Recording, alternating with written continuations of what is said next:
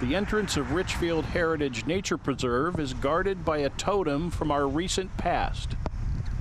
It's just beautiful. It's full of magic and mystery and adventure. And history.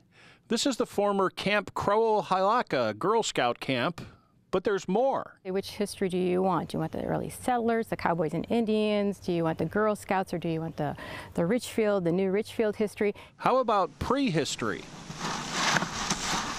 A team of researchers from Cleveland State is on a mission. Oh no, my handwriting. Looking way back. Northeast Ohio has prehistory that goes back at least 13,000 years. CSU archaeologist Phil Wanyerka and his crew are surveying the park one shovelful at a time. And we're putting in somewhere around 110 holes or so, shovel tests around this entire area.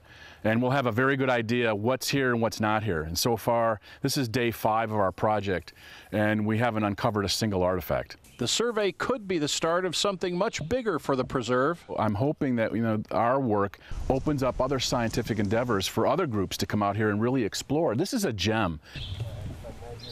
In Richfield, Carl Bachtel, Channel 3 News.